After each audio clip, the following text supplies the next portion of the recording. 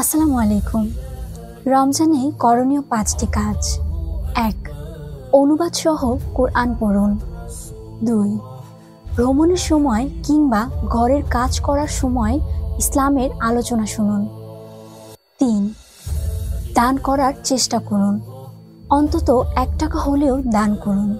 চার, জিকিরে জেহবা ভেজা রাখুন।